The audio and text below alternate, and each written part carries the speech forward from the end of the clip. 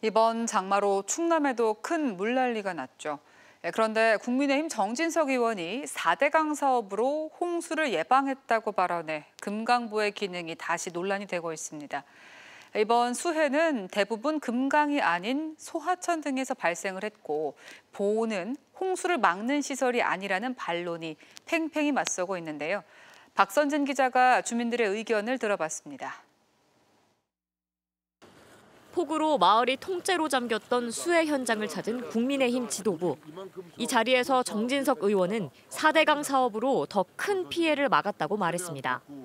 금강보로 물그릇을 크게 만들어 놓은 덕에 금강이 범람하는 대참사를 막았다는 겁니다. 건축도 4대강 사업인 지금 2천 정비 사업 계획이 다 있어요.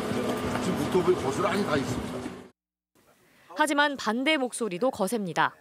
이번 수해로 특별 재난 지역이 된 부여군의 박정현 군수는 대부분 소하천과 지류 인근에서 홍수가 발생했는데 4대강 사업을 다시 소환해 정쟁을 부추긴다며 이런 주장을 정면으로 반박했습니다.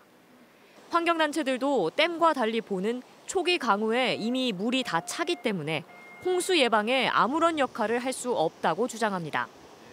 보호 근처에서 제방이 터지거나 어, 물에 와류가 생겨서 오히려 홍수를 유발하는 시설이다라고 하는 대형 댐과 돌을 막 섞어서 사용하는 것 자체가 문제고. 금강보가 실제 수해를 막는데 효과가 있다고 생각하는지 주민들에게 물었습니다. 주민들의 의견 또한 확연히 갈립니다. 그렇죠. 4대강 들 피해봤지. 그렇잖아요. 역가장 물 들어왔어요. 그렇게 많이 보호되는데 보호하고 뭐큰 것이 없잖아요. 그걸 가지고 해결할 수는 없잖아. 복구만으로도 버거운 상황에서 수해를 정쟁의 도구로 쓴다는 비판적 시각도 많습니다. 2년 전 정부는 세종보는 해체, 공주보 부분 해체, 백제보 상시 개방을 결정했지만 윤석열 정부는 4대강 보 유지 의지를 내비치고 있습니다.